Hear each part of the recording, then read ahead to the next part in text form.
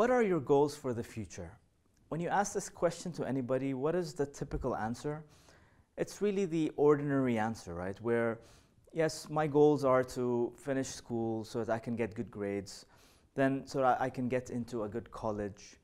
And then my goals after that would be to get a nice job that pays me a good salary.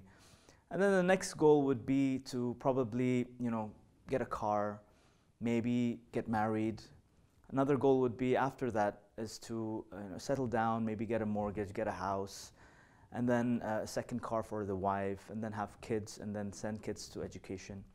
And these are the standard goals that society kind of uh, teaches us to have since we're kids, right? We've seen this uh, in, in the movies. Our parents have been telling us this. Our teachers are, you know, programming, programming us to think that way also.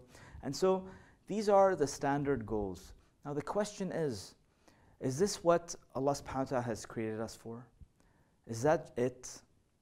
Are these just the goals that we're supposed to have? Or are there a different set of goals that we rarely talk about? I've put together this course called Blueprint for Bliss, where we talk about goal setting in a completely different way. Yes, these things are important. It's important to have good grades. It's important to get married and have the car and have the house and have all these good things in life. Those are a part of life. But Allah subhanahu wa ta'ala has created us for a higher purpose.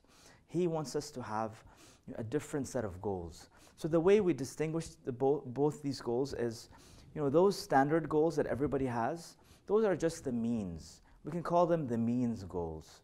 But then there's a different set of goals called end goals. Goals where you really you know, feel fulfilled about why you are doing what you're doing. What is the purpose behind getting the car, behind getting married? What is the purpose behind getting a job? There's something beyond these material needs that society has. And so throughout this course, we're going to be talking about the importance of setting goals that are end goals, and not just means goals, but end goals that really are linked to your values. They're linked to your purpose.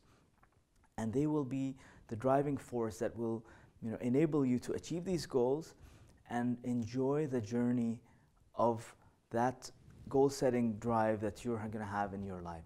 And so throughout this course, Blueprint for Bliss, we're going to be talking about the difference between means goals and end goals and the importance of having these end goals right in front of you so that you can really distinguish between both and enjoy the process of fulfilling your dreams and your objectives and goals in life.